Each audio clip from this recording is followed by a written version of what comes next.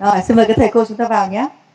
Chúng ta có tận ờ, 5 phút vừa qua để chúng ta vui cười và chào hỏi nhau. Xong rồi ạ. Bây giờ chúng ta bắt đầu thôi ạ.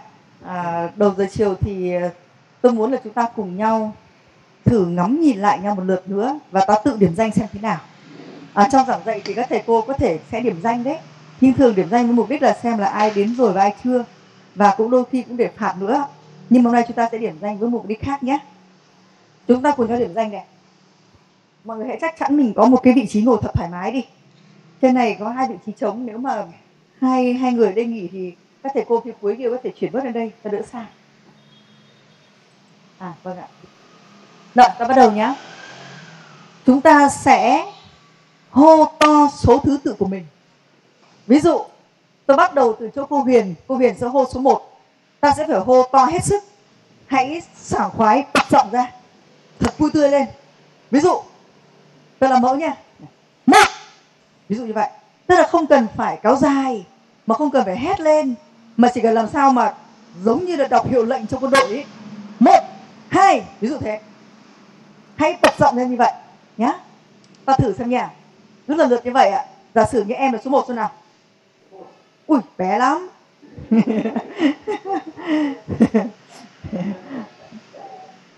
hãy bật giọng ra để đủ cảm thấy sảng khoái tự mình ý. Tự mình phải thấy sảng khoái và lan truyền cái âm thanh sang mọi người nhé em thử xem nào. Ok, mẹ. Cũng được rồi, nhưng mà hãy dứt giọng hơn một tí.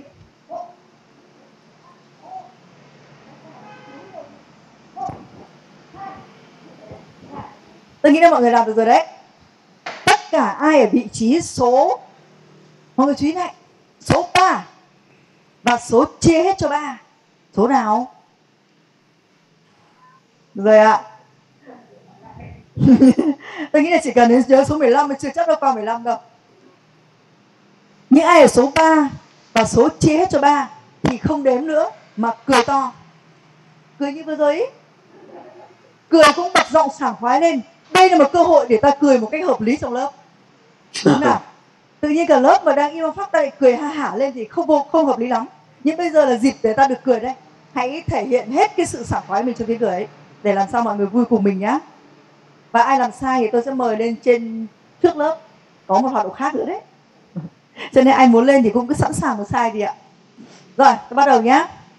Nào, vòng trong trước ạ, cứ lần lượt từ một. Hãy nhớ này, số 3 và số chia cho ba thì cười mà không đếm. Rồi, xin mời, số 1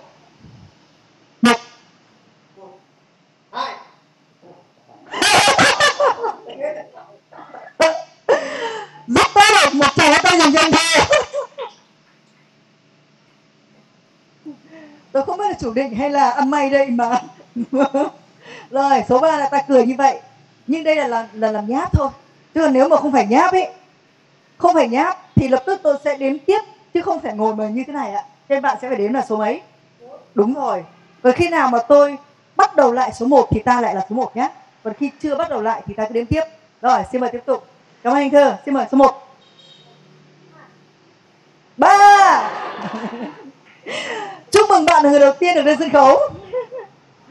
Rồi, xin mời tiếp tục. Số 1 búng búng búng búng. Sai rồi. Kẹp zip, bạn là người số 2 được lên. Nó phải trơn chu chứ lị. Nào, xin mời số 1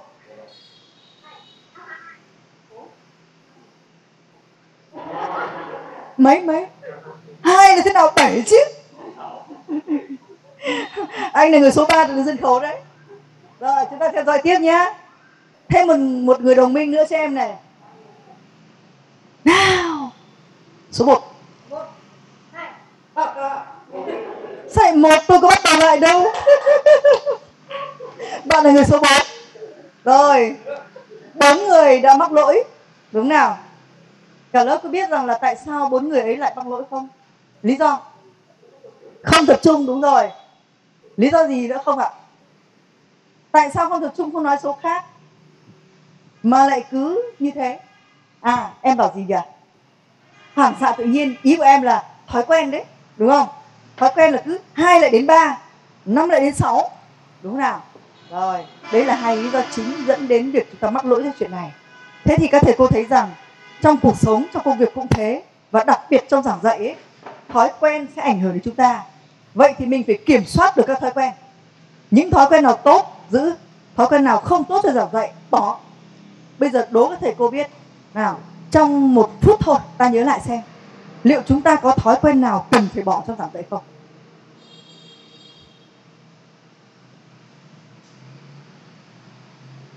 Em nói trước nào. Thói quen của em. Thói quen nào muốn bỏ? Không kiềm chế được cảm xúc. À tức là chúng ta là giảng viên nhưng mà ta lại điều tiết cảm xúc chưa tốt. Học viên người ta có thể buồn cười, người ta cười ngà, cười nghiêng, cười lăn, cười lộn, nhưng chúng ta lại phải cười có chừng mực. Cười thoải mái ạ à. nhưng mà vẫn cần phải có chừng mực.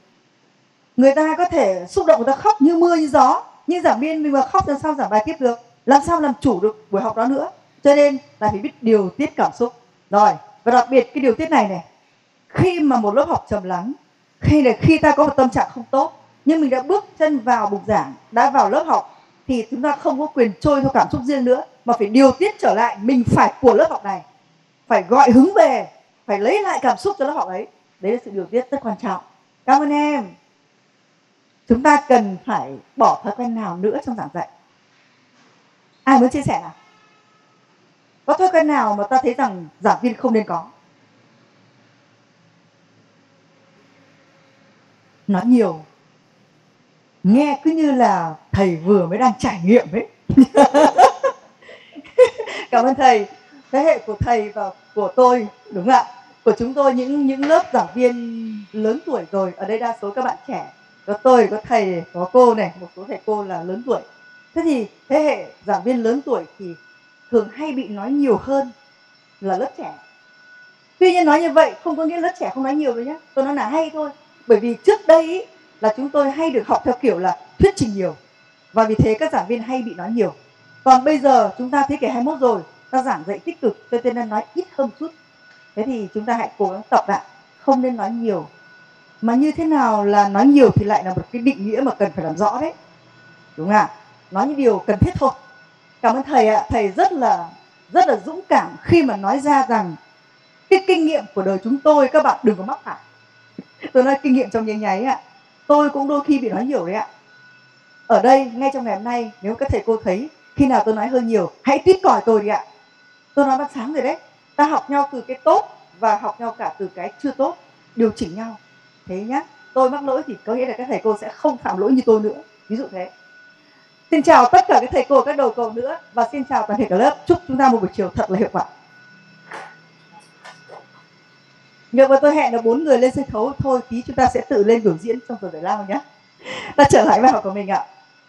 Buổi sáng ta sẽ chia, đã chia sẻ với nhau về các cái nguyên tắc giảng dạy tích cực. Vâng. Và chúng ta đã nhắc đến những nguyên tắc nào ạ? Nguyên tắc nào rồi ạ? Tạo bầu không khí tích cực trong giờ giảng. Đúng rồi, cảm ơn cô giáo nguyên tắc nào nữa ạ? Liên hệ thực tiễn. Ô thế mình toàn nói đúng nhưng mà sao lại phải nói bé mà rụt rè thế nhỉ? Mình cứ mạnh dạn mình nói thoải mái tự tin chứ. Cứ như là nói vừa nói vừa sợ sai ý. À, điều này là một cái nội dung rất quan trọng của giảng dạy mà tôi muốn chia sẻ ngay bây giờ đây. Người học có quyền nói sai và không phải ngần ngại khi nói sai cho nên đừng ai ngần ngại bất kỳ nói điều gì trong lớp học này liên quan đến nội dung bài giảng chúng ta nhé. Các thầy cô nói thoải mái đi ạ. Không bao giờ bị chê cả. Chắc chắn ạ. Tôi hứa, không bao giờ bị chê. Mà chỉ có là cái nội dung này, nó có phải là nội dung ta nói đến hay không, nó đã phù hợp chưa thôi, hay để dành đến lúc nào. Ví dụ ban sáng, thầy khanh chẳng hạn nói một nội dung không đúng vào cái mà ta nói. Tôi bảo thầy để dành cái tí nữa ta sẽ nói cái đấy như thế thì chúng ta không sợ bị nói sai, cho nên đừng có ngần ngại và hãy tham gia hết mình đi ạ. Đừng có ngại rằng mình nói đúng hay không nhé rồi, trở lại. Hai cái nguyên tắc mà các thầy cô nói đến. Nguyên tắc số 1 liên hệ thực tế. Và chúng ta có nhớ cái câu mà tôi muốn chốt lại của cái chuyện liên hệ thực tế là gì không? Qua nhớ câu đó không? Cảm ơn cô Hiền. Bắt đầu từ thực tiễn và kết thúc trong thực tiễn. Ta nhớ nhé và cái cách như thế nào sáng chúng ta đã có với nhau rồi đấy. Thứ hai, tạo bầu không khí tích cực tạo như thế nào đây? 5 phút vừa trôi qua với trò chơi điểm danh cũng là một cách để tạo không khí tích cực. Các thầy cô được cười một chút được thoải mái một chút được móc mỡ và nhắc một chút. vâng thế là chúng ta cảm thấy tỉnh táo hơn và chắc chắn là sẽ khỏi phải có nhiều cách điều chỉnh khác nữa để cho cái buổi giảng của mình nó trở nên sinh động hơn và mọi người sẽ cảm thấy hưng phấn thì trong tâm trạng đó, người ta mới có thể tiếp nhận tốt được ạ. Có một cái câu nói cũng khá là chính xác cho trường này. Sẽ không thể có được sự sáng tạo của người học nếu như họ bị căng thẳng áp đặt. Và nhớ điều đó. Và đấy là lý do chính tại sao phải tạo bầu không khí tích cực. Nha. Rồi. Và chúng ta cũng sẽ tự tạo cho mình đi ạ. Nhé chúng ta cứ thoải mái lúc nào thích thì ta vỗ tay. Thích là chúng ta cười. Thích là chúng ta hỏi. Thích là chúng ta giơ tay, ta xin phát biểu đừng bao giờ ngần ngại điều đó. Rồi. Vậy thì theo các thầy cô ngoài cái việc chúng ta liên hệ thực tế ngoài cái việc tạo không khí ta có thể làm gì nữa để cho buổi giảng của mình hiệu quả? Để người học lại được cả tri thức và được cả sự thoải mái? Hãy nhìn vào những gì tôi làm từ sáng tới giờ. Ngoài hai cái nguyên tắc vừa rồi còn gì không? Tôi nhớ đến câu nói à, đến ý kiến của cô giáo ở đầu Cố thanh hóa lúc cuối giờ sáng cô giáo bảo rằng, giảng viên đã sử dụng à, ngôn ngữ và ngôn ngữ hình thể và cả những cách ứng xử trong lớp nữa để mọi người được như thế nào đó, vân vân. Thế thì đấy là một cách mà tôi muốn mọi người luôn luôn phải chú ý vào mình. Mọi người phải chú ý vào giảng viên. Tức là người ta không chỉ nghe mà người ta phải nhìn. Trong một cái thang từ sáng chúng ta xem chín cái chín cái cấp độ giảng dạy chín cấp độ tiếp nhận người học ấy, thì cái việc vừa nghe vừa nhìn nó có tác dụng như thế nào? ba phần trăm chúng ta còn nhớ không? Đấy. Thế thì ngay cả việc đó nữa, cứ mỗi yếu tố một chút, mỗi yếu tố một chút cộng lại, thì giờ giảng chúng ta sẽ đạt được cái hiệu quả cao nhất. Thế thì mình luôn luôn hãy biết cách để cho người học người ta được vừa nghe vừa nhìn. Sẽ hiệu quả gấp đôi hoặc gấp ba là chỉ nghe không hay chỉ nhìn không? Vì vậy, hãy trực quan tất cả những gì có thể tôi nghe và tôi quên tôi nhìn và tôi nhớ, tôi làm và tôi hiểu. Trong giảng dạy, ta sẽ áp dụng cả ba cấp độ này. Dân ta có câu là, chăm nghe không bằng một thấy. Ai cũng biết rồi, đúng không ạ? Và câu gì nữa? Chăm thấy không bằng một sờ. Vâng ạ. Thế thì liệu chúng ta có áp dụng cái sờ đó trong giảng dạy không? Nghe và thấy người ta biết rồi. À đúng rồi, cô huyền bảo thực hành. Chính xác đấy ạ. Chính là thế đấy. Sờ đấy thế thì những cái môn dạy kỹ năng, ví dụ như các thầy cô dạy an toàn lao động. Ta dạy họ cách ngắt cửa dò điện. Ta dạy họ cách à, đóng cửa hầm lò. Đấy là kỹ năng, đúng không ạ? Họ phải thực hành trực tiếp, đấy là sờ. Thế bây giờ chúng ta có những môn dạy quy định về an toàn lao động, thì có sờ được không? Đừng lắc đầu vội. Có sờ được không nào? Sờ trong trường hợp dạy lý thuyết là gì? Là gì đó? chả lẽ lại không? Liên hệ kinh nghiệm bản thân. À.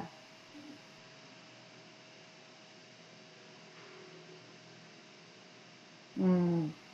quy định ấy trong thực tế mình gặp phải nó như thế nào? Hay là với cái việc là mình đưa cho họ một quy định, xong mình bảo họ là hãy là việc nhóm ngồi với nhau xem, bàn xem có điều gì khó hiểu trong quy định đó không? Hay là quy định này áp dụng thực tiễn thì có nảy sinh ra, có phát sinh ra cái gì không? Thì đấy là họ phải tự ngồi họ bàn với nhau. Cái đấy là sờ đấy, sờ trong ngoặc kép. Tức là cái việc tự làm của người học trong những môn giảng dạy lý thuyết là họ tự phải động não, tự bàn với bàn với nhau để làm ra một kết quả kết quả lý thuyết. Còn với môn kỹ năng, họ có thể làm trực tiếp bằng tay để làm ra sản phẩm. Thế thì đấy đều là đều là cho họ tự làm.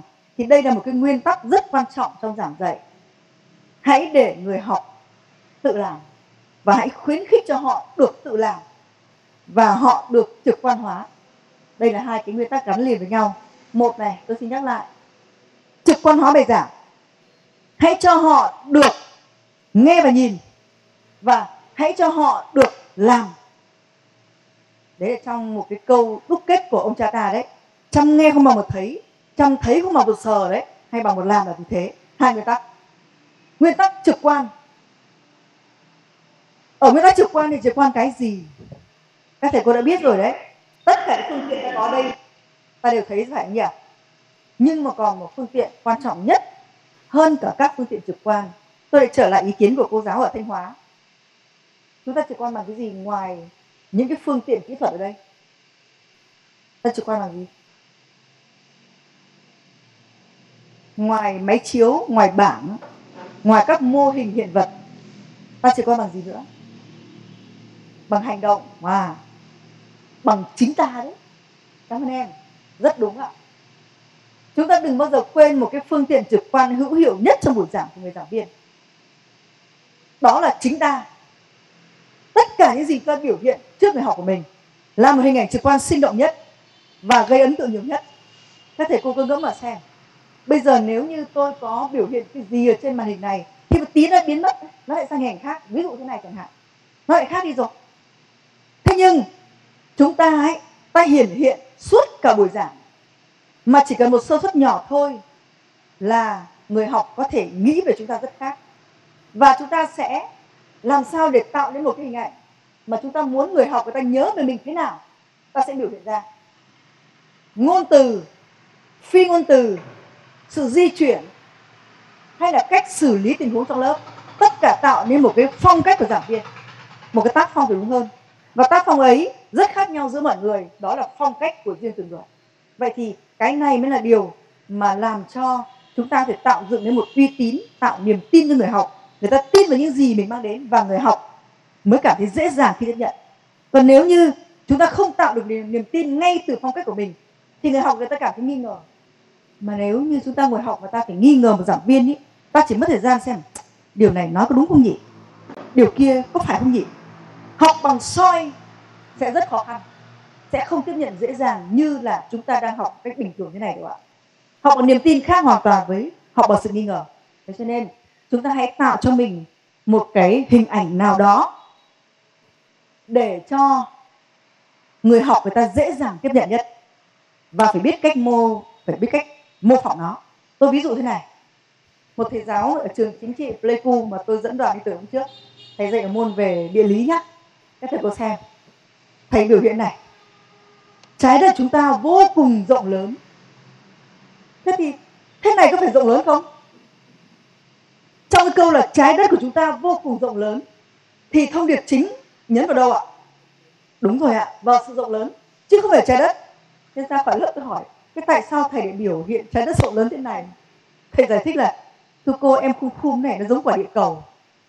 Tôi mới bảo rằng, thầy xác định vấn đề sai rồi. Trong thông điệp ấy, và trong câu ấy, thông điệp gửi đến người học là sự rộng lớn, chứ không phải trái đất như cô huyền vừa mới nêu ấy. Ai hiểu đấy là sự rộng lớn chứ? Thế mà biểu hiện là quả địa cầu. Mà quả địa cầu trong trường này, tôi lại còn hiểu nó là cái gì? Bé đi cơ. Đấy. Thế các thầy cô thử xem, nếu như ta biểu hiện câu đó thì chúng ta làm gì? Ta biểu hiện thế nào? Các thầy cô làm đi ô oh, ai cũng thế này. Vâng. Thế đấy là một một cái điểm chú ý. Hãy biết cách biểu hiện cho nó rõ cái lời nói của mình. Làm thế nào để người ta nhìn thấy mình mà người ta đoán được hay là những cái động tác của mình nó phải làm rõ hơn cho lời nói thì đấy là biểu hiện hiệu quả của ngôn ngữ ngoại hình.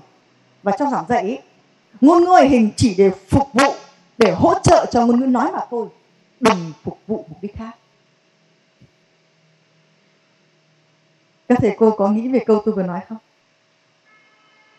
Và không cần giải thích thêm đúng không ạ? Rồi, cảm ơn ạ. Thì đấy là hai nguyên tắc quan trọng nữa. Và trước khi chuyển sang nguyên tắc cuối cùng thì tôi muốn đọc một câu hỏi vào nguyên tắc thứ tư. Chúng ta khuyến khích bằng cách nào? Trong giảng dạy. Ta khuyến khích người học bằng cách nào đây? Làm thế nào để khuyến khích cho người học tự làm bây giờ? Mời các thầy cô. Nào khuyến khích thế nào bây giờ?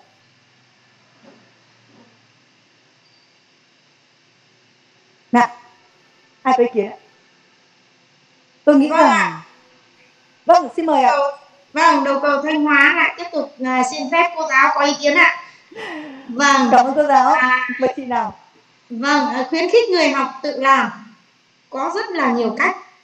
Và trong đó cái việc đặt ra những tình huống giả định thực tế để cho người học được tham gia trực tiếp được bàn luận được thống nhất và được um, giáo viên công nhận. Đó là cũng là một cách để khuyến khích người học tự làm. Phương pháp tình huống đúng không ạ? Dạ vâng. Cảm ơn cô giáo rất tốt ạ. Rồi. Vâng. Chị có bổ sung được không? Dạ có còn à, à, cái việc khuyến khích người học tự làm phải tạo cho họ một cái cái tự tin rằng việc chúng ta làm có thể chưa đúng có thể đúng. Nhưng kết quả chung nhất khi chúng ta đi đến kết luận là cái việc đúng nhất để cho những cái tình huống diễn ra như vậy nó thật sự an toàn trong lao động sản xuất. Thiết thực với công việc của chính những người lao động đang tham gia với lớp học huấn luyện an toàn vệ sinh lao động xin cảm ơn cô giáo ạ. Ôi cả lớp phải dành cho cô giáo một tràng tay rất lớn giúp tôi rất là tốt ạ. Rất là tốt. Tôi tin là cô giáo khi giảng dạy an toàn lao động cô giáo thường xuyên cho người học của mình thực hành những cái nội dung mà mình giảng dạy.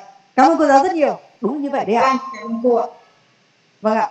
Thế chúng ta dạy an toàn lao động thì chúng ta càng phải cho người ta tự làm. Bởi vì đấy là những việc mà họ trực tiếp hàng ngày. Và nó sẽ ảnh hưởng trực tiếp đến cái sự an toàn của họ trong công việc cho nên chúng ta cần phải đẩy mạnh hay là cần phải sử dụng triệt để cái nguyên tắc này ạ? Nếu như chúng ta hướng dẫn họ một cái thao tác máy nào đó, thì rõ ràng là 10 lần ta làm mẫu cho họ xem 100 lần ta đứng giải thích cho họ, không bằng một lần họ tự làm và mình đứng mình chỉ dẫn cho từng chút một. Hãy để cho họ tự làm. Cũng giống như ở đây này, tôi có thể sẵn sàng nói với các thầy cô rằng à, khuyến khích cho người học tự làm là như thế này là như thế kia. Nhưng không tôi đặt câu hỏi và tôi mời các thầy cô nói và cô giáo ở thanh hóa vừa nói rất đầy đủ. Đấy có phải là người học của mình không biết đâu? Giảng dạy đây là gì? Chúng ta là người dẫn dắt ta là người định hướng để người học sẽ tự nêu ra cái họ đã có và họ được khẳng định điều đó là đúng. Đấy là cái học tích cực nhất. Thế chúng ta hãy tích cực làm điều này với người học của mình ạ. Vì thế cho nên trong thực tế chúng ta đừng nói nhiều. Giống như thầy khanh vừa nhắc nhở chúng ta đấy ạ. Chúng ta đừng nói hộ người học mà hãy để cho họ nói khi có điều kiện, khi họ có thể nói. Cho nên, sẽ có những câu hỏi mà các thầy cô có thể đặt ra cho tôi ở đây mà tôi không trả lời đâu ạ. Mà thông thường, ta nếu ta có vài ngày làm với nhau ấy, thì đa phần các câu hỏi các thầy cô đặt ra với tôi tôi đều hỏi lại cả lớp hết. Tôi không trả lời ngay đâu. Thế mà tôi hỏi lại, ồ, đấy là một câu hỏi rất là hay ạ cảm ơn thầy cô. Và tôi xin mời cả lớp, ai trả lời giúp tôi? Luôn luôn là như thế. Thế tại sao lại làm như vậy? Mặc dù cái câu trả lời nó sẵn sàng ở trong tôi rồi, nhưng không trả lời đâu ạ. Bao giờ cũng tạo điều kiện để các thầy cô khác có thể trả lời. Đúng không nào? Bởi vì câu hỏi của người đặt ra cũng có thể là rất nhiều người khác cũng đang nghĩ thế, cũng đang muốn nói. Một điều người này chưa biết, có thể rất nhiều người khác đang biết vậy hãy khai thác những gì người học của mình biết. Họ sẽ dễ chia sẻ với nhau. Họ sẽ rất là vui, rất là tự hào vì chính mình đang xây dựng nên cái mà mình có đấy. Chứ không phải giảng viên áp đặt cho mình. Và khi tự họ trao đổi với nhau mà họ có được, họ sẽ cảm thấy rằng tiếp thu nó một cách nhanh nhất, dễ nhất, thích nhất và chắc chắn nhớ lâu hơn. Những gì họ bàn bạc có được, họ sẽ nhớ lâu hơn rất nhiều những gì ta nói với họ. Thế cho nên hãy để cho người học tự làm đi. Làm bằng những hành động cụ thể, ra sản phẩm. Làm bằng tư duy để ra một cái kết luận, ra một cái nội dung, một kiến thức nào đó, họ nhận về. Thì đấy là mọi cái cách để ta huy động người học cho nên hãy cho họ nói nhiều vào. Và sau rất nhiều những nội dung mà ta trao cho người học thì đến cuối cùng, các thầy có biết là tôi làm động tác gì cuối buổi sáng hay không? Mặc dù lúc đó đã hết giờ rồi. Tổng kết. Điều đó có cần thiết không ạ? Chốt nội dung rồi ạ. Như thế này này. Bao giờ cũng thế. Chúng ta phải chốt. Có rất nhiều nội dung trong ngày được diễn ra và cuối cùng phải chốt lại. Để làm gì? Các nhà nghiên cứu đã cho ta một cái kết quả đủ ấn tượng để chúng ta làm điều này. Và hãy coi đó là một nguyên tắc, tức là điều phải làm đấy ạ nếu như chúng ta không chốt lại nội dung, thì sau 3 ngày, người học còn nhớ được khoảng 20 đến 30 phần trăm. Nếu ta chốt lại ngay trước khi cho họ về, thì họ có thể nhớ được đến 7 80 phần trăm. Tôi nhớ một vị lãnh đạo trong buổi khai giảng sáng nay đã nhắc đến vấn đề này. Và tôi rất là vui vì như thế có nghĩa là trong ngành chúng ta đã rất chú trọng điều đó. Từ các lãnh đạo cho đến các nhân viên từ các thầy cô đã rất kỳ cựu cho đến các giảng viên trẻ giảng viên mới. Chúng ta đều có thể đã biết và rất chú trọng điều đó. Đây chính là một trong những điều kiện để đảm bảo rằng cái giờ giảng của mình sẽ nằm lòng ở người học của mình. Cho nên ta đừng quên ạ, đây phải coi là một nguyên tắc. Dù vội đến mấy, thậm chí thiếu thời gian vẫn phải chốt. Nếu ta có nhiều thời gian và ta làm đúng được kế hoạch thì có nhiều cách chốt khác nhau lắm. Có rất nhiều cách và nhiều phương pháp để chốt một cách hiệu quả và sinh động. Nếu ta giảng nhiều buổi thì sẽ phải dùng nhiều cách khác. Thế nhưng, nếu như chúng ta không có thời gian nữa, thì vẫn có thể nhấn lại bằng chính lời của giảng viên, hoặc chúng ta thể để cho một vài học viên nhắc lại nội dung chính giống như sáng nay tôi làm. Và cái việc người học nhắc lại hơn rất nhiều việc ta tự nhắc lại. Đấy là năm nguyên tắc ạ. Tôi nghĩ rằng năm nguyên tắc này sẽ được thẩm thấu vào tất cả những cái buổi giảng của chúng ta, và nó phải ẩn nấp ở đâu đó ở các cái kỹ thuật dù nhỏ nhất ở các phương pháp để triển khai nội dung. Mỗi một phần xong lại có tiểu kết rồi có tổng kết. Ví dụ thế, chúng ta nhớ điều này ạ. Nhé như vậy, ta vừa mới thống nhất với nhau năm cái nguyên tắc rất quan trọng của của giảng dạy tích cực hay là gọi là giảng dạy hiệu quả. Như chúng ta hẹn nhau ban sáng ấy, dù chúng ta mỗi người giảng dạy môn khác nhau, mỗi một bài khác nhau nhưng chúng ta sẽ đều áp dụng đủ năm điều này, thì tôi chắc chắn rằng ai cũng giảm rất hiệu quả. Nhưng có một câu hỏi rất hay đặt ra nhé. Có người có người hỏi tôi rằng là, thế có nhất thiết phải thực hiện đủ cả năm nguyên tắc trong tất cả mọi nội dung không? Các thầy cô nghĩ điều này không? Có cần phải thực hiện cả năm nguyên tắc ấy ở mọi nội dung không? Và có làm được điều đó không? Thế thì chúng ta trả lời thế nào đây? Nào, một câu hỏi đặt ra với các thầy cô đấy. Thầy khanh cho rằng tùy theo lại là cái từ tùy ạ. Tùy tình hình vâng ạ.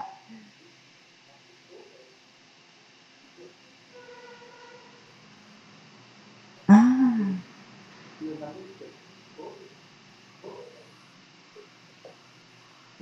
nếu à theo thầy khanh thì nếu học viên mà nắm chưa vững thì chúng ta cần chốt.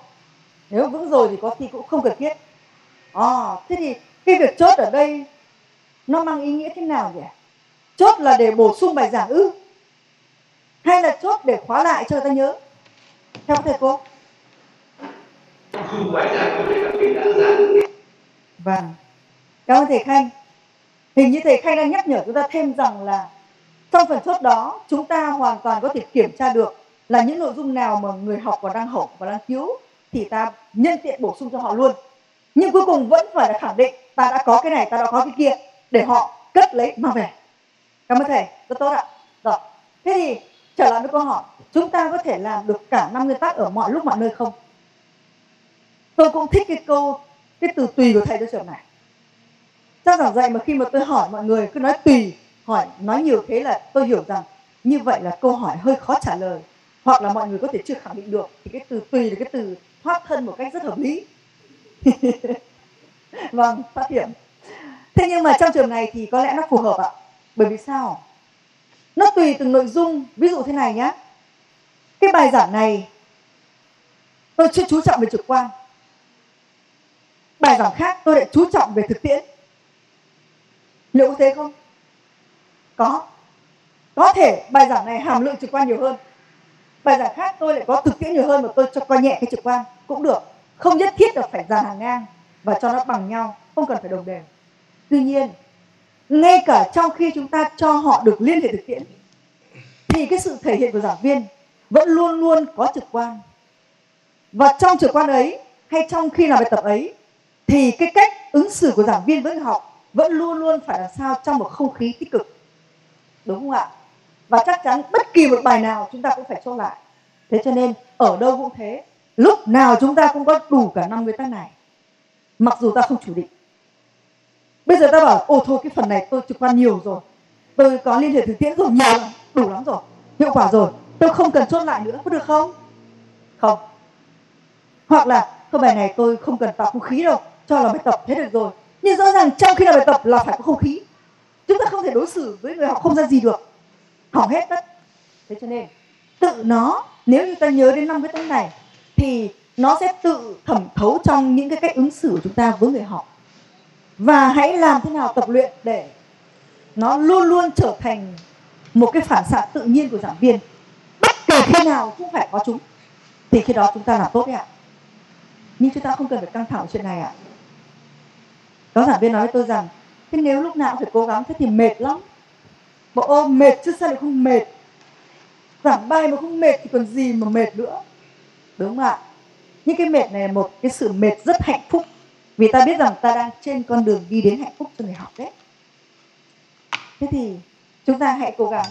Có thể một số kỹ năng, có thể một số điều mà chúng ta chưa từng làm hay ta ít làm, bây giờ chúng ta ý thức ta làm nó, ta có thể phải cố gắng, phải cầu mình lên. Nhưng làm nhiều rồi, nó trở thành quen, nó thành kỹ năng, nó thành kỹ xảo, không hề mệt nữa. Không cần cố gắng nữa. Nó là ta rồi khi đó ta trở thành sư chín nút rồi. Đúng không ạ? Tức là ta thành thạo rồi đấy ạ. Thì ta không mệt nữa. Và tất cả chúng ta đều hướng tới con đường đến cái đích ấy đấy ạ.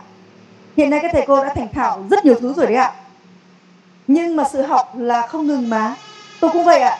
Lúc nào tôi cũng học. Và hôm nay các thầy cô phát biểu ý kiến thầy khanh chẳng hạn, cô huyền chẳng hạn và các thầy cô nữa. Trong tất cả ý kiến đấy, tôi đều học được một cái gì đó. Đều học chứ. Thế thì chúng ta hãy cứ học. Nhưng cái học đấy nó là cái sự bồi đắp thêm cứ hoàn thiện thêm hoàn thiện thêm và nó không bao giờ ngừng lại hết. Ta thấy nó nhẹ nhàng lắm không sao vui. Mỗi lần thêm một tí mà ở mức độ nào đó ta cho rằng cố gắng ấy ta lại thấy vui thêm một tí có sao đâu. Hãy làm như vậy nhé. Tôi nói thêm là thầy nói nhiều đấy ạ. Thế bây giờ chúng ta hãy quan sát cái bảng này. Ta chỉ có khoảng hai tiếng đồng hồ nữa. Và tôi xác định chiều nay sẽ giới thiệu cùng các thầy cô một số phương pháp. Một số phương pháp ạ. Mà chủ yếu tôi sẽ chọn những phương pháp các thầy cô đã từng làm, đã từng biết. Sẽ không giới thiệu phương pháp nào mới hết. Thế thì nói gì về những phương pháp đó? Tôi đồng ý với thầy khanh giờ ra chơi buổi sáng, có chia sẻ cùng tôi là mọi khi thì mình vẫn làm thế đấy. Hôm nay có dịp để cùng nhau gọi tên nó ra thầy và thầy nhớ đến cái ngày mà thầy học học lái xe. Đúng rồi ạ. Chúng ta vẫn làm ạ. Chúng ta vẫn làm tốt là khác chứ. Nhưng hôm nay, chúng ta cùng nhau để nói về chúng với tư cách là làm như thế là đúng, làm như thế là chưa đúng. Và ta tự tin hơn trong những lần sau. Ta chủ động làm thế này và ta chủ động không làm thế kia. Và cũng có thể có một phần nào đó, chúng ta cùng nhau khai thác thêm những điểm mà ta vẫn làm nhưng ta còn bỏ sót rất nhiều những tiềm năng của nó. Tôi ví dụ, phương pháp hỏi đáp tôi tin rằng thầy cô nào cũng từng sử dụng phương pháp hỏi đáp thời đại ngày nay thì không có ai là không hỏi đáp hết. Nhưng mà có thể là ta hỏi người học, người ta trả lời, ta hài lòng rồi. Người ta nói một vài câu, ta hài lòng rồi. Nhưng rất có thể ta đang bỏ phí, lãng phí mất rất nhiều ý kiến hoặc là cái cơ hội để khai thác từ những câu trả lời ấy để đẩy nó lên thành một sự tương tác, dẫn đến kết quả là người học tự chiếm lĩnh kiến thức, chứ không phải là mình áp đặt. Rất có thể là như thế. Thế thì ta sẽ cùng nhau khai thác thêm những điểm đó ở những cái kỹ thuật sử dụng phương pháp. Thế thì khi mà chúng ta quan sát một cái bảng như thế này thì các thầy cô sẽ hình dung được gì? Có rất nhiều phương pháp, nhưng không phải là phương pháp nào cũng dùng để triển khai bất kỳ nội dung nào. Mà sẽ có những cái phương pháp phù hợp với những nội dung.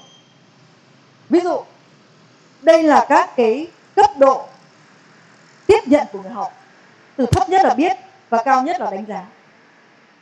Thế thì có những cái phương pháp phù hợp để đạt cái mục tiêu biết. Có phương pháp phù hợp để đạt đến mục tiêu đánh giá. Có phương pháp phù hợp để đạt đến mục tiêu hiểu.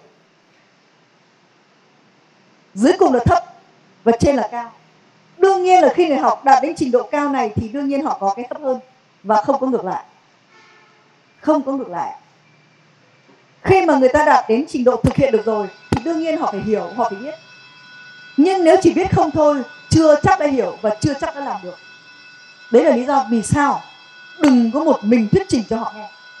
Vì thuyết trình ấy người học có thể biết nhưng chưa chắc đã hiểu. Bây giờ tôi giới thiệu với thầy cô là giảng dạy tích cực là người học vừa được tri thức, vừa được thoải mái vui vẻ. Chỉ nói thế thôi. Thế thì các thầy cô rất có thể sẽ không đồng ý. Đúng nào? Mà ta lại không có cơ hội nói ra. Hoặc là các thầy cô có thể chưa rõ là, ồ, thế được tri thức được như thế nào? Tại sao lại bảo rằng là người học được tri thức thì người ta sẽ vui? Thế thì chúng ta có thắc mắc mà ta không có điều kiện để nói ra, để mà trao đổi. Như vậy chưa chắc đã hiểu. Thế cho nên phải có phương pháp hỏi đáp để trao đổi hoặc là phải có phương pháp hỏi chuyên gia để giảng viên trả lời câu hỏi ví dụ thế. Thế thì đây là một vài gợi ý một số phương pháp cơ bản. Ngoài ra còn nhiều phương pháp nữa. Còn nhiều phương pháp nữa. Thì đây chỉ là đại diện thôi để ta thấy rằng chỉ có những phương pháp phù hợp với loại nội dung nào. Trong thực tế các giảng viên rất hay hỏi tôi cái câu này. Người ta hỏi tôi này này. Cô giảng dạy nhiều rồi thì cô, theo kinh nghiệm của cô ấy phương pháp nào là phương pháp hiệu quả nhất trong giảng dạy? Đố có thể cô biết câu trả lời của tôi là gì? Tùy từng đối tượng, phương pháp nào quan trọng? Gì nữa? Có rất nhiều phương pháp.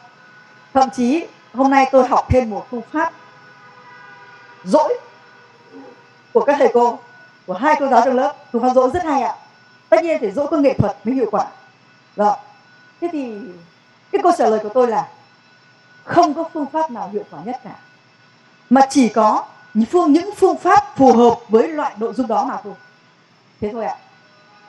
Thế và trong thực tế thì có những phương pháp phù hợp với nhiều nội dung, hoặc ngược lại có những nội dung có thể sử dụng nhiều phương pháp để triển khai hiệu quả nó. Thế cho nên điều cần thiết là chúng ta phải biết nhiều phương pháp để ta có nhiều sự lựa chọn khi mà triển khai bài giảng của mình biết nhiều thì ta sẽ lựa chọn được phong phú hơn, dễ dàng hơn. Tôi sẽ chia sẻ thêm điều này vào lúc cuối giờ, khi mà ta nói đến kế hoạch bài giảng một chút. Rồi thế vậy thì ở đây, chúng ta đã từng biết đến những phương pháp nào? Các thầy cô đã từng biết đến phương pháp nào chúng ta kể tên đi. Những phương pháp nào đây mà các thầy cô đã từng áp dụng trong giảng dạy của mình? Nào, chúng ta nói đi ạ. Ôi ta cứ nói to lên chứ. Nói to lên chưa ạ? Ít nhất là phương pháp thuyết trình thì ai mà chả biết ạ? Đúng không? Ngoài ra Vâng cô giáo nói to đi. Thực hành à? Thực hành đấy, tôi sử dụng cái từ thực hiện. Thực hiện. Chúng ta có dùng phương pháp nhóm không? Chúng ta có dùng phương pháp hỏi đáp không? Có dùng hỏi chuyên gia không? Tôi nghĩ là có, nhưng các thầy cô chưa biết gọi tên nữa thôi. Khi mà ôn tập ấy, người học người ta hỏi mình câu gì đó, mình trả lời cho họ, mình giải đáp thêm cho họ. Đấy là hỏi chuyên gia đấy. Nhưng mà nếu gọi là phương pháp hỏi chuyên gia thì chúng ta sẽ làm một cách quy củ và khai thác hết những ưu điểm làm cho người giảng dạy cũng dễ mà người học cũng dễ thì hẹn các thầy cô khi nào có điều kiện ta chia sẻ cô pháp rất hay nha. Không giống như cái việc cái thầy cô ôn tập mà cứ đứng đây xong mà nào, có ai hỏi gì không? À có ba câu hỏi, tôi trả lời nhé. Cái đó sẽ rất nhiều nhược điểm. Nhưng nếu là vẫn là việc đó, nhưng thực hiện bằng phương pháp hỏi chuyên gia, thì ta sẽ thấy rằng mọi người đều được thấu hiểu các câu hỏi đó và được ghi nhận lại. Mọi người sẽ được khai thác cả những điểm mình chưa kịp nghĩ ra mà bạn bè mình nghĩ ra giảng viên sẽ không bị sợ cháy giáo án hay bị thiếu giờ. Giảng viên sẽ chủ động chọn được cách trả lời hay nhất, gọn nhất. Ví dụ thế, rất nhiều ưu điểm ở phương pháp này. Chẳng hạn thế, hoặc là các thầy cô có thể sử dụng phương pháp nêu ý kiến ghi bản bảng chưa? Rồi vâng. Nhưng tôi cũng chưa biết là chúng ta thực hiện có thực sự là khai thác hết nó hay không. Nếu điều kiện ta sẽ tìm hiểu phương pháp này. Thay vì cái việc là chúng ta cứ đứng người ta, chúng ta hỏi, người ta họ nói câu gì ta viết mảng câu đó. Thì chúng ta chỉ cần sử dụng thêm một vài kỹ thôi. Dù nhỏ, ta thấy nó tuần tự. Nó sẽ khai thác được hết tính năng của phương pháp này để cho ta biết được ý kiến nhiều nhất. Người học cũng nói được thoải mái nhất và cuối cùng người ta phải được khẳng định. Cái này được, cái kia chưa được. Và người ta có thể biết được rằng ở đây có những phương pháp nêu kiến này cũng là hỏi này hỏi đáp là hỏi này, sàng lọc là hỏi này, hỏi chuyên gia cũng là hỏi này, vân vân. Vậy thì khi điều kiện hay tìm hiểu. Các phương pháp này cùng là hỏi và đáp. Tại sao nó lại mang tên khác nhau? Và nó thực hiện hoàn toàn khác nhau. Bởi vì chúng hướng tới các mục đích rất khác nhau cho giảng dạy. Khi thì ta cần lấy ý kiến học viên. Khi thì ta cần trao đổi để họ hiểu rõ hơn. Khi thì ta cần phân biệt cho họ các khái niệm đối lập nhau. Khi thì ta cần giải đáp cho họ để đào sâu kiến thức mục đích rất khác nhau. Mỗi mục đích đó thì ta sẽ thực hiện một cách hoàn toàn khác nhau. Và nó là những phương pháp khác nhau đấy. Các thầy cô sẽ tìm hiểu thêm về nó nhé. Rất nhiều phương pháp và hay lắm. Nó sẽ khiến ta dễ dàng. Như ban sáng ấy, tôi đứng đây tôi viết một số ý kiến với thầy cô. Tại sao tôi chủ động viết? Tôi chia làm ba cột. Mặc dù chữ tôi rất là xấu, tôi rất xấu hổ với chữ của tôi. Chia sẻ với em. Em không phải là người viết xấu nhất đâu. Nhưng tôi viết rất khoa học ạ vì tôi đã có chủ định, cho nên mọi người nêu ý kiến, tôi sẽ ghi được ba cột hoặc là tôi tung một câu hỏi có hai nhánh. Nếu tôi viết hoặc tôi điều khiển người khác viết bảng, thì những ý kiến nào thuộc về nhánh thứ nhất, tôi sẽ bảo viết bên trái. Thuộc nhánh thứ hai, bảo viết bên phải. Như vậy trong đầu giảng viên phải luôn sẵn sàng chuẩn bị tất cả mọi thứ ấy. Những gì mình hỏi học viên là những gì mình đã có đáp án rồi. Chứ không phải hỏi là vì chúng ta không biết hay chưa biết mà hỏi chỉ là một cách ta chủ động tạo điều kiện cho người học được trả lời câu hỏi được thành công trong những câu trả lời để họ học hiệu quả hơn thôi ạ. Như vậy đây là các phương pháp mà các thầy cô hãy tìm hiểu. Và tôi nghĩ rằng sẽ có những phương pháp mà ta thường xuyên sử dụng trong giảng dạy an toàn lao động. Phương pháp bể cá vâng ạ. À, phương pháp bể cá là như thế nào? Tôi nghĩ rằng một cái tên khá là gây chú ý phương pháp này ở đây sẽ có nhiều phương pháp mà chúng ta chỉ đọc tên thôi. Ta mường tượng chưa chắc ta đã hiểu đúng về nó đâu. Có một số tên thì nó rất chính xác với bản chất nhưng có một số tên thì chưa chính xác hoặc là ta thích gọi theo một cái cách nào đó hoặc nó có nhiều tên gọi khác nhau mà dẫn đến cách hiểu khác nhau ấy ạ. Cho nên đây là cái gọi theo một cái hệ thống mà chúng tôi hay sử dụng. Ừ. thế thì bể cá này phương pháp này tôi được biết đến nó lần đầu tiên vào năm 19 1000 à, 1998 lần đầu tiên tôi tham gia một cái khóa thạc sĩ huấn luyện của Australia. Thì khi đó gọi là phương pháp bể cá vàng. Bể cá vàng ạ. Thực ra, tên quốc tế nó là fishball. Thế thì chúng ta chỉ biết là nó là bể cá cá cảnh thôi. Mà cá cảnh ngày nay cả cá đen, cá trắng. Cho nên chúng tôi không gọi là vàng nữa, gọi là bể cá. Các thầy cô sẽ hình dung là lớp học sẽ là một cái ừ. ví dụ, bây giờ tôi thực hiện bể cá, tôi rất tiếc hôm nay không thực hiện được. Tôi mô tả một chút ạ, và chỉ phương pháp này thôi ạ. Vì cái tên nó rất là gây chú ý. Vâng. Nếu như tôi thực hiện bể cá ở đây thì tôi cho cả lớp suy nghĩ một vấn đề. Sau đó có khoảng 5 người hay 4 người hay là 6 người được tôi mời vào trong. Chúng tôi sẽ ở trong cái phạm vi này. Chúng tôi trao đổi trong cái phạm vi nhỏ. Cả lớp ngồi quan sát. Khi đó cái vòng trong thảo luận là bể cá. Và mọi người ở ngoài xem con cá đang bơi, giống như chúng ta xem bể cá, xem cá cảnh. Đấy, như vậy ta mường tượng được đấy ạ. Tại sao ta làm thế? Rồi khi nào ta làm thế và làm thế thì được cái gì? Và lớp học sẽ ra sao? Ồ, rất nhiều điều thú vị ở đó. Các thầy cô hãy tìm hiểu về nó nhé. Làm bể cá hay lắm. Khi mà tôi giảng dạy về chữ quốc gia, trước đây tôi thỉnh thoảng có dạy sinh viên. Hộ trường dốc như thế này rất khó đấy ạ nhưng tôi vẫn cố gắng, nếu tôi giảng dạy cho các em một chuyên đề soạn thảo văn bản khoảng 6 ngày, thì tôi sẽ làm bể cá một lần. Để các em được thay đổi động thái, các em thích lắm. Bởi vì rất hiếm khi các em được trải qua phương pháp đó. Rất thú vị đấy ạ. Hiền nhé thôi hẹn các thầy cô sẽ tìm hiểu về nó sau. Mỗi phương pháp này đều có những điểm rất hay của nó. Rồi, ta trở lại vấn đề của mình đi ạ. Ở những phương pháp này, ta sẽ phải chọn lựa để ta đưa bài giảng của mình. Bây giờ chúng ta sẽ cùng nhau chỉ ra một vài cái ưu điểm của một số phương pháp cơ bản mà tôi cho rằng nó sẽ rất là hữu ích, nó sẽ rất là tác dụng, nó sẽ rất là hiệu quả đối với giảng dạy an toàn lao động. Một số phương pháp. Theo thầy cô, đó là phương pháp nào đây? Ta cho rằng hiệu quả với giảng dạy an toàn lao động. Nào ta nói to lên xem nào kể cả các thầy cô các đầu cầu chúng ta nói to cái tên phương pháp và ta cho rằng nó phù hợp với giảng dạy an toàn lao động. Thuyết trình này, rồi ạ. Nhóm này. Nhóm đây ạ. Hỏi đáp này. Còn nữa không ạ? Đóng vai. Đóng vai. Đúng rồi ạ. Các thầy cô giảng dạy an toàn lao động, qua những cái khóa huấn luyện và qua những cái lần mà sát hạch về nghiệp vụ, thì tôi thấy các thầy cô đã sử dụng phương pháp nghiên cứu tình huống và đóng vai rất nhiều. Trong thực tế, đây là hai phương pháp khó, nhưng cũng là hai phương pháp cực hay. Mặc dù các thầy cô rất có thể chưa được trải qua một khóa huấn luyện nào tường tận về những phương pháp đó, nhưng những gì các thầy cô tự tìm tòi, hiểu biết được và có thể là cái à, cái khả năng thiên bẩm mà mình thích nó và mình tự làm được nó rất tuyệt vời ạ nhiều thầy cô thế. Có thầy cô làm hay lắm xong rồi tôi mới khen ngợi lắm. Thì tôi hỏi là thế thế thầy đã học được nó ở đâu? Từ bao giờ? Em chưa từng được học lớp nào cô ạ. À. ôi tôi ngả mũ kính phục luôn. Rất là giỏi ạ. Và khi đó tôi đánh giá rằng người này rất là tâm huyết người này rất là hiểu vấn đề người này thực sự là tìm tòi để mà chuyển đến cho người học của mình những cái mà mình muốn họ. Có rất là tốt ạ, rất là tuyệt. Đấy, những người thầy như thế ạ, những người cô như thế ạ, tôi phục ghê lắm.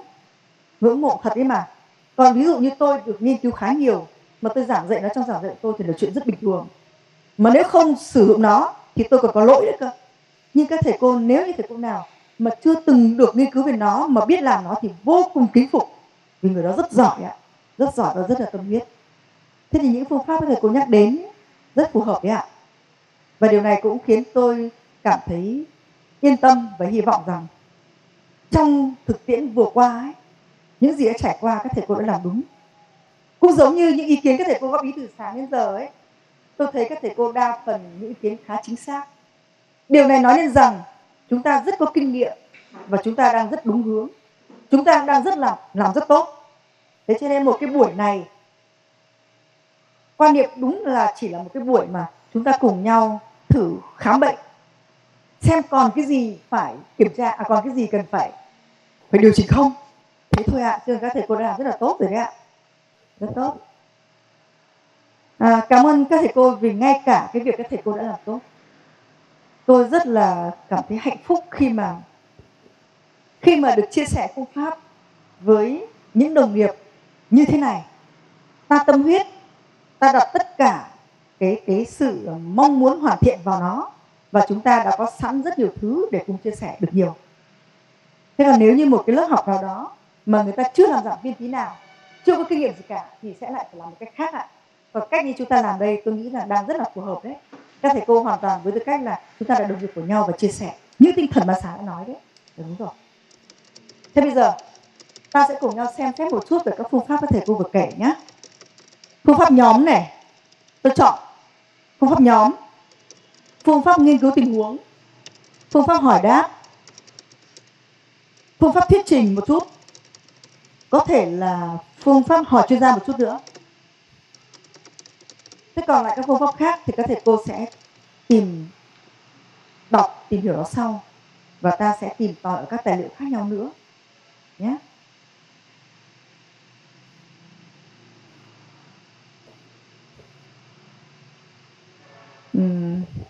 Ta sẽ làm việc khoảng 20 phút nữa thì chúng ta nghỉ được không ạ? Các thầy cô mệt chưa? Ta muốn nghỉ chưa nhỉ? À, thêm một chút nữa nhé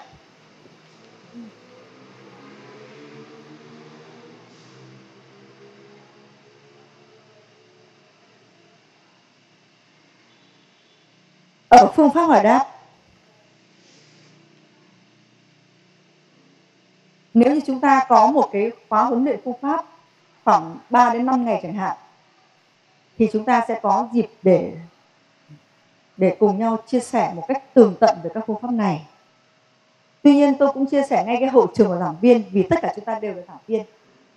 Tôi chỉ còn có chưa đầy hai cái đồng hồ thôi. Vậy thì sẽ phải có cái cách để chia sẻ bốn phương pháp theo cách của thời gian này. Thì đấy là cái việc làm chủ thời gian mà giảng viên phải có ạ. Đúng không ạ? Rồi, thì những cái tôi biết là sẽ có rất nhiều câu hỏi đặt ra mà chúng ta không giải quyết được đây. Và cũng sẽ rất nhiều điều các thầy cô thắc mắc về phương pháp mà chúng ta cũng không thể trả lời đây được. Tôi vẫn nợ thầy bình ở đà nẵng. Một câu hỏi mà tối về tôi mới điện thoại cho thầy bình được. Thì trưa nay tôi nói chuyện anh thơ với cả chị với với với chị hoa. Cả buổi trưa thành ra chưa gọi điện cho anh bình. Rồi thế thì chúng ta có nhiều cơ hội sẽ chia sẻ thêm. Nhưng nói thế để ta biết rằng hãy làm chủ thời gian nha bây giờ câu hỏi đáp các thầy cô nhìn vào cái logo này? Ta có đoán được câu hỏi đáp là thế nào không? Tại sao lại dây dợ lằng nhằng thế?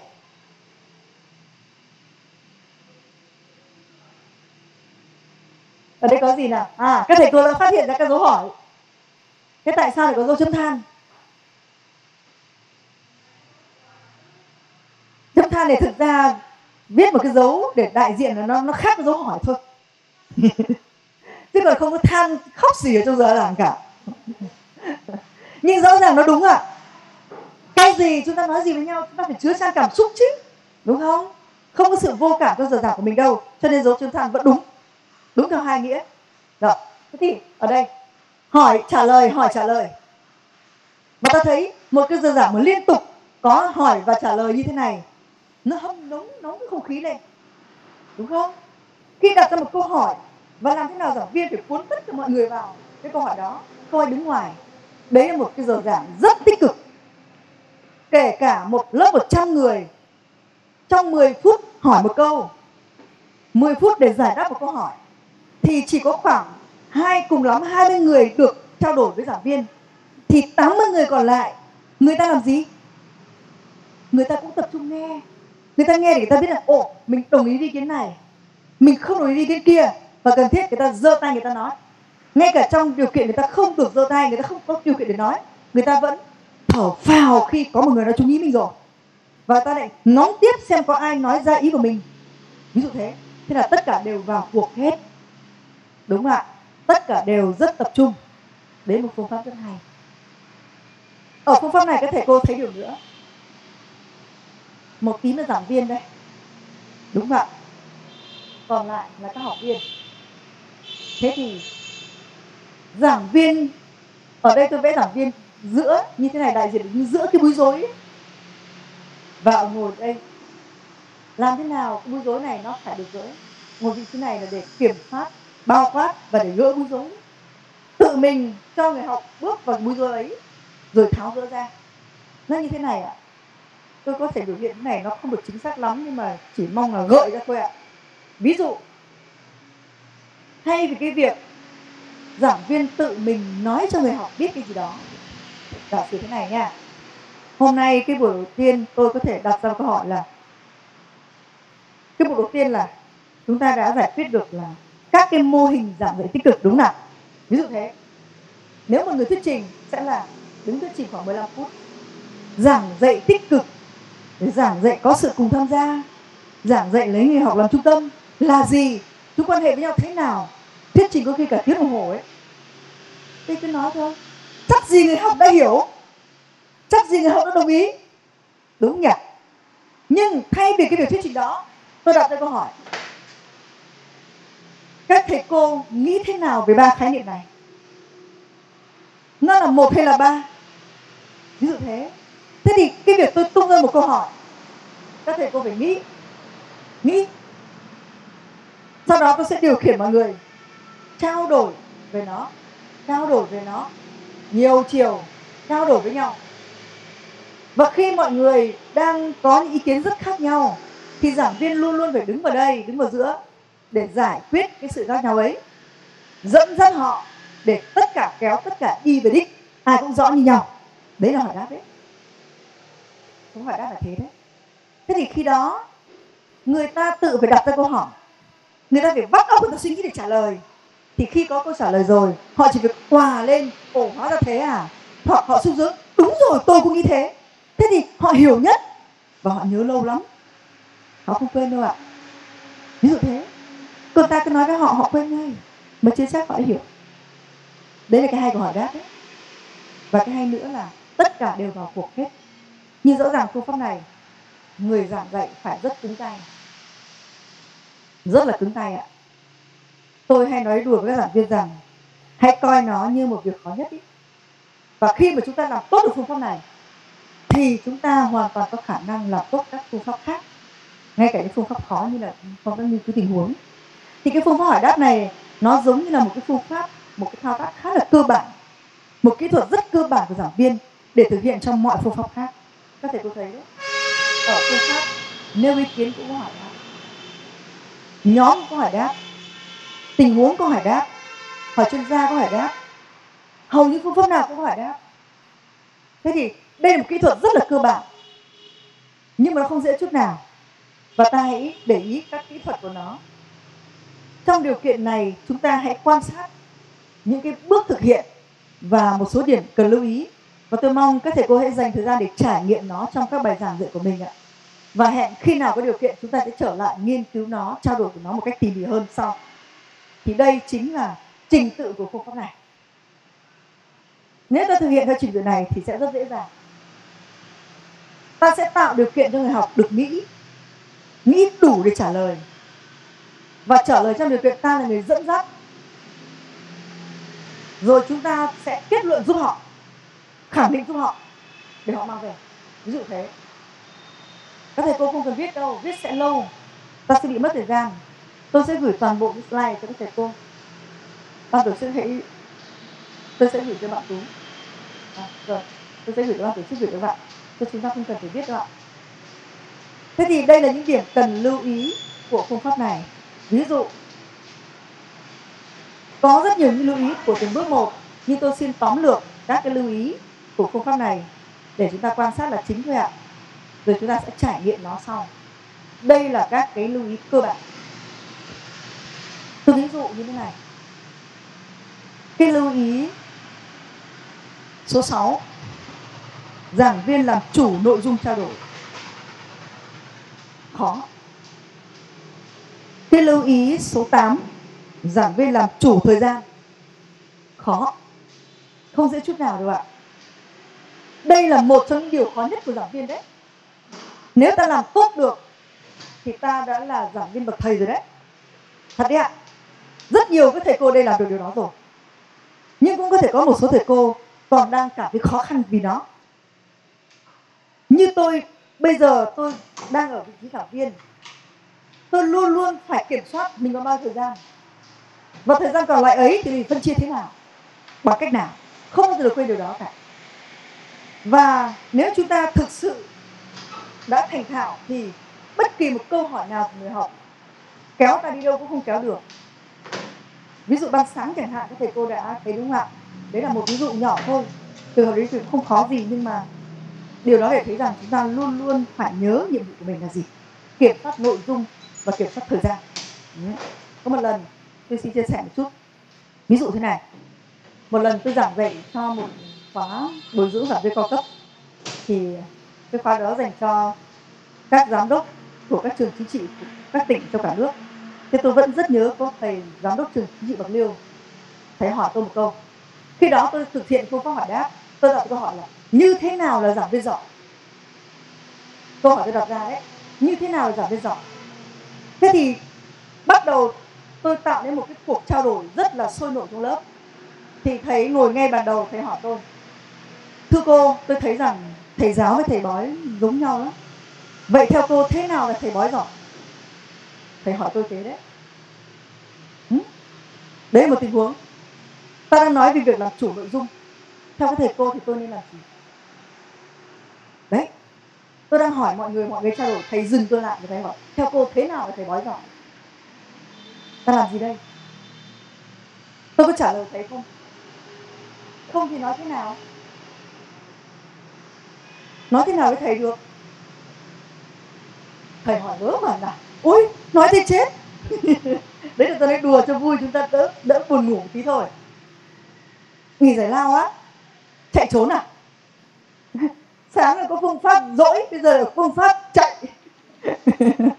Rồi. Thế thì lúc đó tôi chỉ bảo với thầy thầy lâm là, xin lỗi, không biết tên thầy ra tôi bước lại phía thầy ấy. À, giả sử đây là thầy lâm em là thầy lâm nha. Thầy thầy, à, thầy học viên của tôi ấy. tôi tiến lại. Tôi đứng là tôi bảo ồ tôi cũng rất thích xem bói giải lao tôi với anh sẽ trao đổi với thầy bói nhé. Vậy bây giờ theo thầy thế nào thầy giáo giỏi? Các thầy có thấy không? Tôi phải làm hai thứ liền. À, năm đó tôi cảm là năm 2013 thì phải. Mà tôi trẻ hơn thầy tôi là nữ. Các thầy lớn hơn tôi mà bậc đàn anh của tôi. Cho nên tôi rất là bất lợi cho thầy trong cái việc là phải xử lý cái ý kiến kiểu như thế này. Thế mà tôi bảo, một là tôi nói vui vẻ, cười rất tươi. Tôi cũng thích xem bói lắm. Giải lao, tôi với anh sẽ trao đổi về thầy bói nhé hẹn thế, nhưng thực ra biết gì mà trao đổi thầy bói. Nhưng tôi vẫn hẹn thầy thế đã, để cho thầy yên tâm đã. Nếu tôi nói thế xong, tôi bảo, thế bây giờ chúng ta quay trở lại bài nhé, và tôi quay đi. Thì các thầy cô đoán xem thầy lâm có quay được không? Thầy lâm vẫn tiếp tục nói về thầy bói, thậm chí yêu cầu, không, nhưng tôi muốn cô giáo nói thầy bói cơ. Dễ như thế lắm. Và cả lớp, ai cũng vẫn mong chờ nói về thầy bói đấy. Cho nên chỉ một câu, với thầy bói bao giờ chỉ hấp dẫn hơn thầy giáo? Đúng không thế thì khi đó, tôi biết rằng nếu chỉ nói không, tôi không đủ. Và tôi đứng lại cơ ạ. Vậy theo anh, thế nào là thầy giáo giỏi? Tôi chỉ vào tôi và tôi nhìn anh, tôi đứng lên, tôi không đi. Anh không cách nào khác, anh buộc phải trả lời tôi. Và anh ấy lúng túng. Anh bảo à thì thế kia. Rồi, cảm ơn anh rất tốt. Mời anh. Theo anh thế nào? Lập tức tôi mời ngay người bên cạnh. Ôi, cả lớp im phong pháp và tất cả cố gắng nghĩ xem thế nào là thầy giáo giỏi để phải trả lời cô giáo bây giờ. Bởi vì tôi làm thế, tôi sẽ lập tức quay sang này tôi hỏi ngay. Và toàn lãnh đạo thôi, toàn thầy cô thôi, ai dám không trả lời? Ngại chứ? Đúng nào. Thế thì khi đó, tôi phải làm hai động tác. Một, lời nói. Hai là thái độ mặc dù nét mặt vẫn cười rất tươi nhưng cương quyết lắm. Hãy trả lời tôi. Thế thì làm sao mà không trả lời được? Thế còn nếu mà, thôi, giờ giải la tôi anh, trao đổi nhé. Quay đi. Không bao giờ dẹp được cái suy nghĩ thầy bói trong đầu cả lớp chứ không riêng gì thầy ấy. Ví dụ thế. Thế thì trong trường này, trong trường này, nếu như tôi trả lời thế nào là thầy bói giỏi, thì có được không? Nếu như tôi biết rành rành, thậm chí nhà tôi có người xem bói, tôi rất hiểu về bói chăng? Liệu tôi có trả lời thầy không? Không. Vì sao lại không cái thầy cô? Đúng rồi ạ. À. nào chúng, chúng ta nghe cô huyền nói cách đầy đủ nhé. Cô huyền nói đi ạ. Ôi cô nói đúng rồi ạ. Tôi muốn cô nói thay tôi cơ ạ. Vì sao ạ? À cảm ơn cô huyền. Cô huyền bảo rằng nếu như tôi trả lời về thầy bói thì vô hình chung một người đang sao lãng về chuyện thầy bói thì bây giờ tôi kéo cả lớp sao lãng theo cả lớp sẽ đắm chìm vào chuyện thầy bói và sẽ rất, rất nhiều câu hỏi nữa về thầy bói đặt ra. Thế là vỡ trận luôn. Lớp đấy giờ ấy giảng về thầy bói. Hỏng như vậy nó giống cái việc là chúng ta dẫn một đoàn đi về mục đích à, đi về mục tiêu đi về mục đích nào đó. Thế trên đường đi thì người học người ta rẽ sang phải rẽ thành trái hái hoa bắt bướm. Thì nhiệm vụ của ta là gì? Kéo họ trở lại đi về đích thế trong trường này, một người rủ tôi đi hái hoa bên này. Tôi đi luôn. Và tôi, cả lớp mới đi theo anh ấy đi. Cho nên tôi gặp phải lớp. Đấy, kiểu thế. Thế cho nên, chúng ta phải làm chủ về mặt nội dung. Đúng không ạ? Buổi sáng, ồ, rất là cảm ơn thầy bình ở đà nẵng. Thầy bình, tôi biết là thầy bình rất quan tâm đến cái nội dung chia sẻ về các khó khăn trong giảng dạy. Đấy một nội dung mà bất kỳ một khóa học nào, mọi người cũng quan tâm lắm. Tôi biết là hôm nay thầy rất mong muốn trao đổi về điều đó. Tôi vẫn hẹn với thầy buổi tối, tôi sẽ gọi thầy tuy nhiên, vì một cái mong muốn đó mà thầy đã tạo ra một cái tình huống mà bây giờ mọi người có thể có cái để nhìn lại ạ. Lúc đó nếu như mà tôi mà không tỉnh táo là tôi sẽ đi trả lời thầy bình câu đó đấy. Và trả lời câu đó hết khoảng 10 phút để giải quyết. Tối nay tôi sẽ nói chuyện với thầy bình gần nửa tiếng để giải quyết về câu hỏi đó. Thế và bên cạnh câu hỏi của thầy bình, có thể nhiều thầy cô khác cũng thấy, ai cũng có cái giải quyết của mình mà, thì lại ra nhiều câu hỏi nữa vậy là tôi không thể trở lại với bài giảng của mình được. Và buổi sáng, đấy là một cái thao tác gọi là làm chủ nội dung đấy. Tôi phải kéo mọi người quay trở về nội dung này. Nhưng nhớ, kéo bằng một cách giải quyết vẫn phải thấu đáo, vẫn phải dễ chịu, không được làm tổn thương người học. Tôi hy vọng là thầy bình không tổn thương gì cho việc đó. Thầy bình nhá. Cảm ơn thầy bình, cảm ơn mọi người. Rồi, thì đây là phương pháp hỏi đáp. Mọi khi các thầy cô vẫn làm hỏi đáp đấy ta có làm thế này không?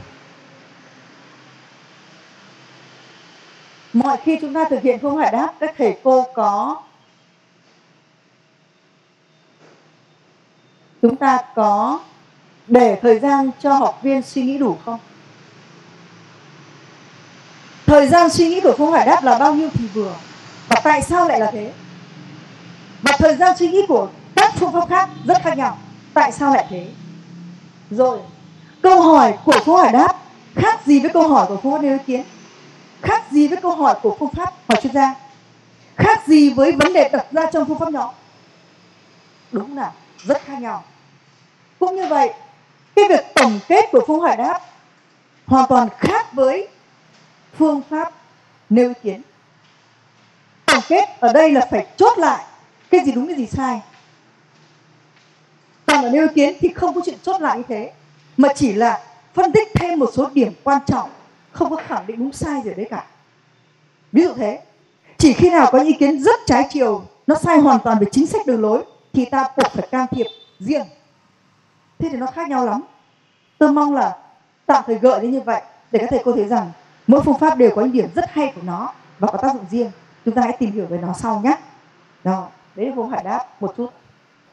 Sau giờ giải lao chúng ta sẽ chia sẻ tiếp về phương pháp nghiên cứu tình huống. Một cái phương pháp mà tôi cho rằng trong an toàn giảng giảng về an toàn lao động ấy, ta sử dụng nhiều nhất. Trong các khóa trước, trong những cái buổi thi sát hạch, tôi đã quan sát thấy các giảng viên của ngành của mình ấy, hầu như ai cũng sử dụng phương pháp này. Tình huống và trực quan, rất là nhiều ạ. Thì ta xem là ta nên khai thác tình huống theo hướng nào và làm thế nào để hiệu quả. Thì sau giải lao ta sẽ chia sẻ thêm về điều đó nhé. Vâng cảm ơn các thầy cô chúng ta sẽ giải lao khoảng 10 phút. 10 phút ạ.